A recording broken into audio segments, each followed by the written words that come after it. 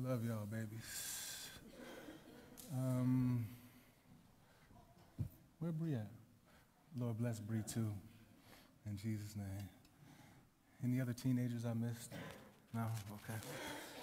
Hallelujah. So this is a family Sunday, so let's give it up for our kids. Hallelujah. And I don't think we say it enough. We do thank the teachers that spend their time teaching the kids on Sundays. Um, we really appreciate it. Amen. So we are going to be continuing today in the book of Romans. If you need a Bible, it should be one in the seats below you, in front of you, behind you. Something like that. Hallelujah. And we are going to be in Romans chapter 12. Once you get it, if you would stand for the reading of the word, as we just want to honor and reverence the text. Romans chapter 12.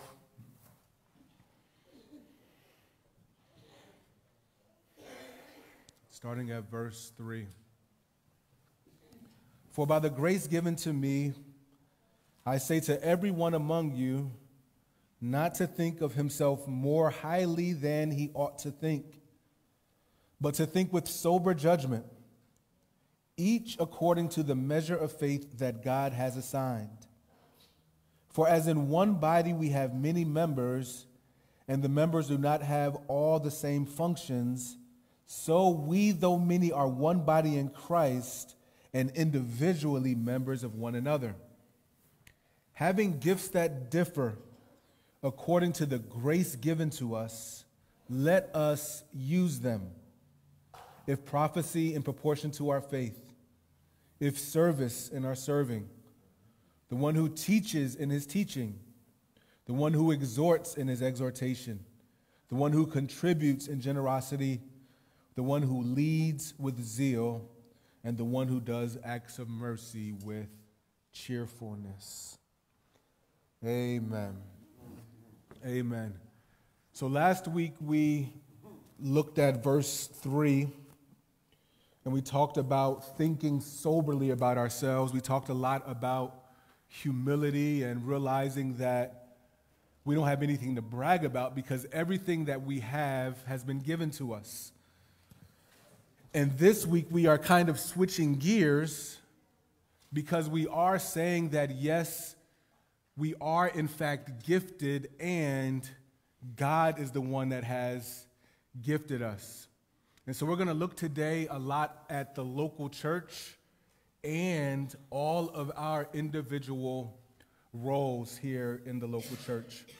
I want to start off today by reading Ephesians chapter 1, verses 3 through 5. That's going to help lay the groundwork for how we want to approach the text today. Ephesians 1, starting at verse 3.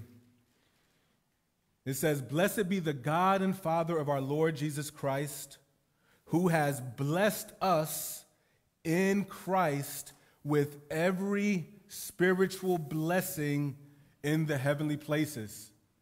Let's pause there and understand, as it relates to our text, that part of this is referring to the fact that in Christ, when you were saved and became a believer, God has given you spiritual blessings. One of them being the way that you have been equipped to serve the Lord. Let's continue on there. It says, even as he chose us in him before the foundation of the world, that we should be holy and blameless before him. Again, as we start looking at your spiritual gifts today, and as we start to look at how you are to use them and fit into the body of Christ, understanding that that was planned out before time began. We're going to see in our text today that each one of us has been uniquely gifted, and so that gifting has even been thought of by God before you were even born. This is important to understand, and I, I want to use this to lay the groundwork because I want us to understand how serious this is today. If the Lord spent time thinking about how he wanted to use you, we ought to be serious about stewarding the gifts that God have given us. It says, In love, he has predestined us for adoption as sons through Jesus Christ according to the purpose of his will. So there's the groundwork. The Lord has saved you, and he has predestined you to be holy before him. And not only that, he has gifted you.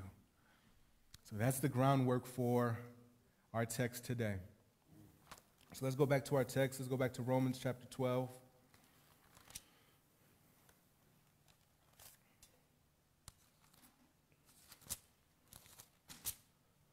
Let's look at verse 4. Verse 4 says, For as in one body we have many members.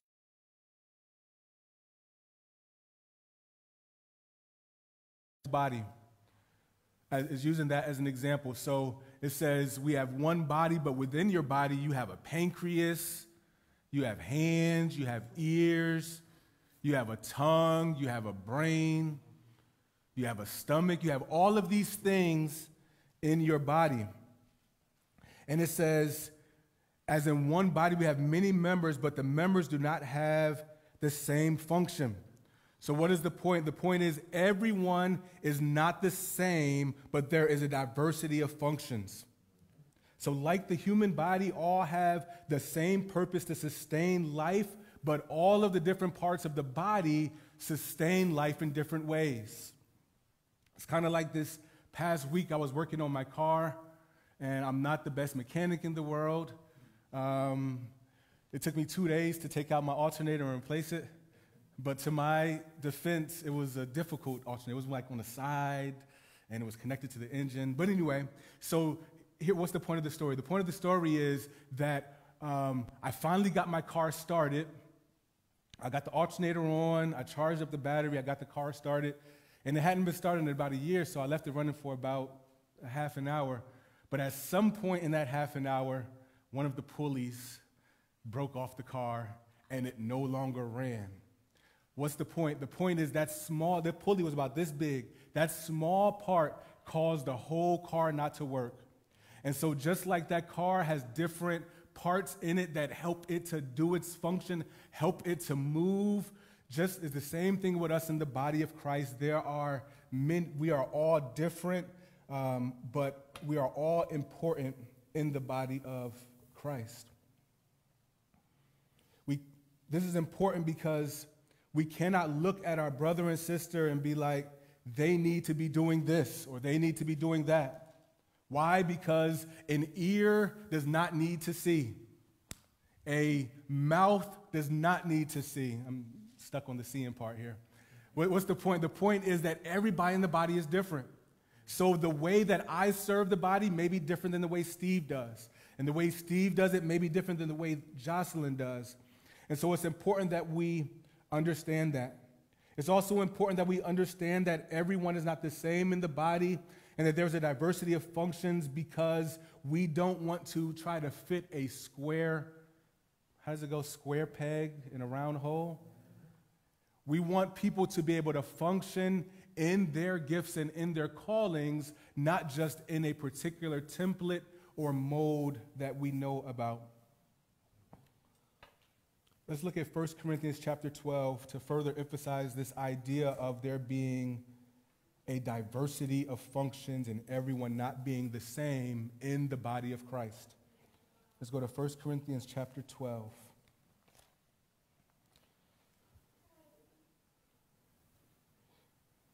And we are going to look at verses 4 through 6. It says, Now there are variety of gifts, but the same Spirit. What's the Spirit there? That's the Holy Spirit. And there are varieties of service, but the same Lord. What does that mean? That there is a variety of ways that people serve the Lord in the kingdom of God. It says that there are varieties of activities, but it is the same God who empowers them all in everyone. So, what this text is saying, again, is reinforcing this idea that in the body of Christ, God has made different functions. Everybody is not the same, but we all have the same goal. What is our goal as the body of Christ? On a larger scale, our, our goal is to make disciples, to share the good news of Jesus Christ, to shine God's light in spiritual darkness. And here at our church, our mission is to make disciples that grow in love towards God and each other. But all of us may go about doing it in different ways. Let's keep moving. It says, it says verse, uh, verse 6. Oh, yeah, there are a variety of activities, but the same God who empowers them all in everyone. So that is the first point that everyone is not the same in the body of Christ. Let's look at verse 5 in our original text. Romans chapter 12, verse 5.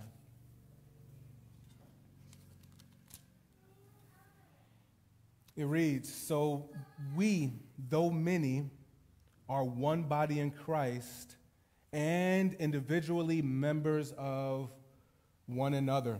So, point number two, we must embrace the vertical and horizontal nature of the body of Christ. What does that mean? It says that we, can you leave that up for me, Jocelyn? It says that we are many, we are one body in Christ. That means that all of us in this room here today that are Christians, we are one and we are in the body of Christ, meaning that we are his hands and feet. We do generally the work of Jesus Christ. That's a part that all of us understand. This is something I used to say when I didn't like going to church. I would say, I can be on an island somewhere and still be part of the body of Christ, so why do I need to go to church? But I didn't understand the second part of this verse. The second part of this verse says, so we, though we are many, we are one body in Christ, but it says we and we are individually members one of another. So what this verse is getting at is both the universal body of Christ and the local body of Christ. Because we are not only members in Jesus Christ, but it says we are each other's members. What does that mean? It means that it means that we are to care about the other parts of the body. In the scripture, there are about 50 one another's in scripture. And if we are to, um, if we are individually members one of another, that means that we are to care about each other. Here are some of the one another's that we see in scripture. We see be at peace with one another. We see wash one another's feet. We see love one another, a multitude of times.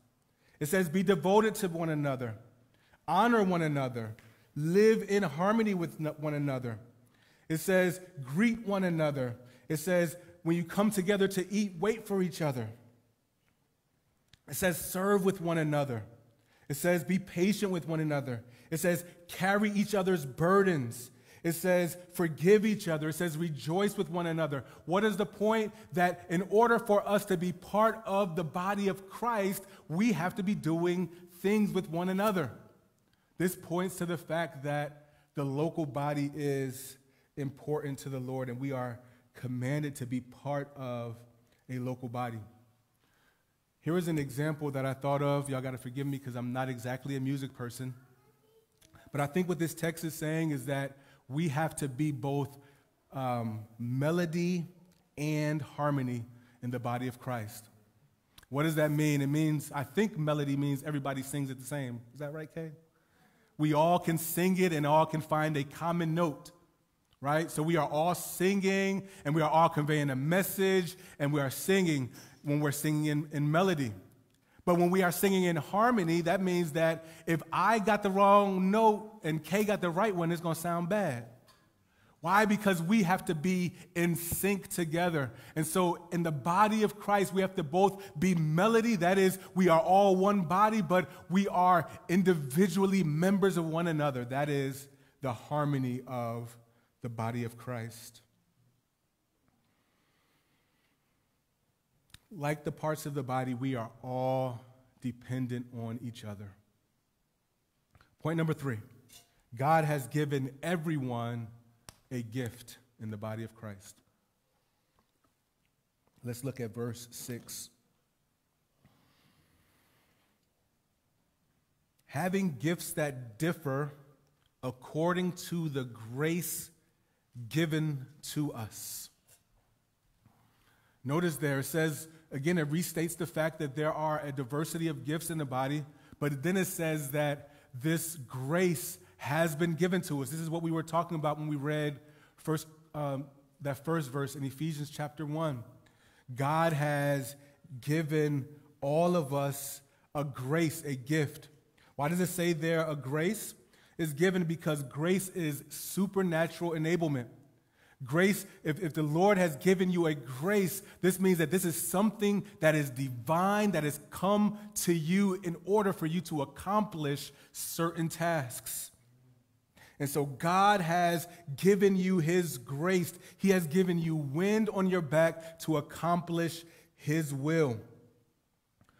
When the Lord created you, the scripture is telling us that He gave you a little something extra for His glory and for our good.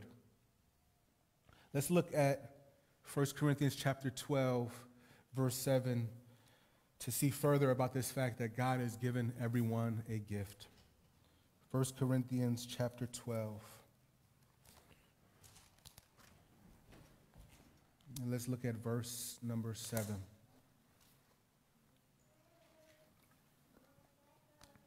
It says, To each is given the manifestation of the Spirit for the common good.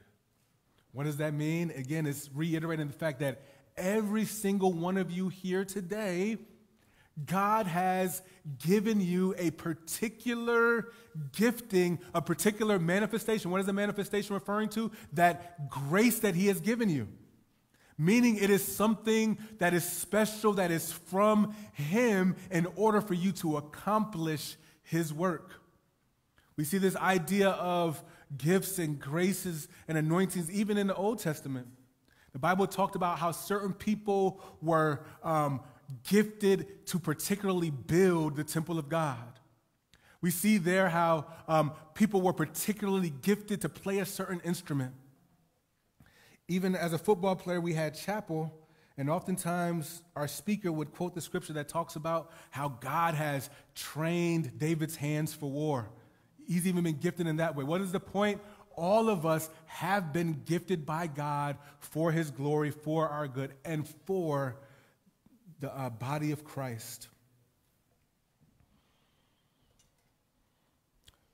This should cause us, and what we're reading today should cause us to either seek God for clarity concerning what he, how he has gifted us for his body, or to worship God through use of your gift.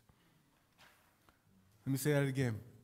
We should all be either A, praying for clarity on how we have been gifted and how we are supposed to use. Remember, we read the list, these different functions, these different activities, these different gifts, all of these things that God has given us, how we're supposed to put that into practice, right? And for those that maybe don't need as much clarity, we should be praying and saying, God, how can I worship you with how you have uniquely blessed me? Why?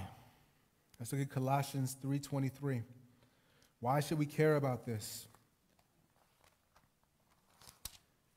Colossians 3:23.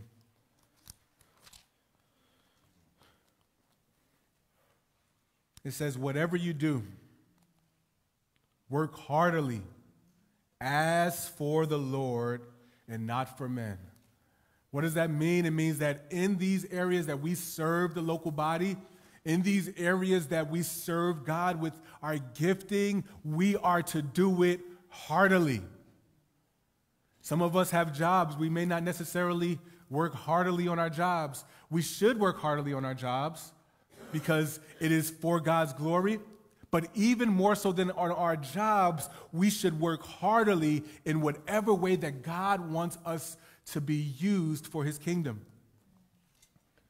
Um, we're going to look at Matthew 5 16 in a minute, but this, this way that we use the gifting that God has given us goes through every area of our lives.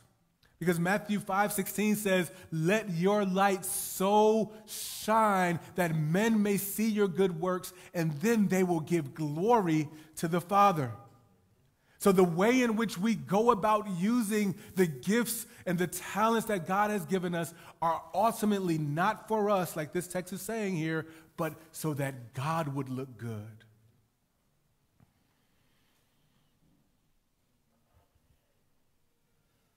Amen.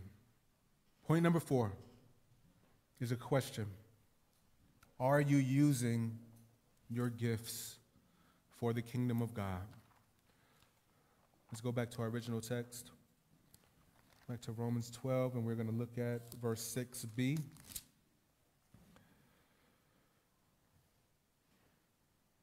Having gifts that differ according to the grace given to us, let us use them. Let us use them. So, the question we have today is Are you using your gifts, your talents, whatever God has uniquely blessed you with? Are you using it for His glory? Or are you just kind of going with the flow? Where should we use these gifts of God? We should use them everywhere that we are because every part of you is for God's glory and for God's use. Therefore, we should use these gifts everywhere. We use these giftings at home. We use these giftings at school. We use these giftings at work. We use them in our community. We use them in our church. We use them in our business. We use them in our social settings. Because again, Matthew 5 16 says, Let your light so shine. Why is this important? If I gave you a gift or a training or a skill, maybe you would use it, maybe you wouldn't. But if God, the creator of heaven and earth, who knew you before time began, who knew your name and planned out your days, gives you a gift, talent, ability, or a desire to please Him in an intentional way of being, we ought to use it. Why? Because of who the gift giver is. Let's look at, let's, let's read the rest of the verses, and then we're going to end in Matthew 25. So next week, we'll get into what some of these spiritual gifts are, but we will have a preview um, here today. So let's read verses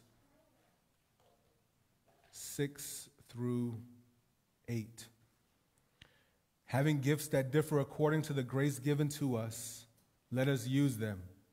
If prophecy in proportion to our faith, if service in our serving, the one who teaches in his teaching, the one who exhorts in his exhortation, the one who contributes in generosity, the one who leads with zeal, the one who does acts of mercy with cheerfulness. I'm not going to get into it today, but we can all see that there are a myriad of ways that you can be used by God in his kingdom. One of them is service, just like, like helping in the building or volunteering or acts of mercy, how you treat other people. All of these are ways in which you can use your gifting in the body of Christ. So let's end here by looking at Matthew 25, which is going to talk about stewardship of the gifts that God has given you. Let's go to Matthew 25, starting at verse 14.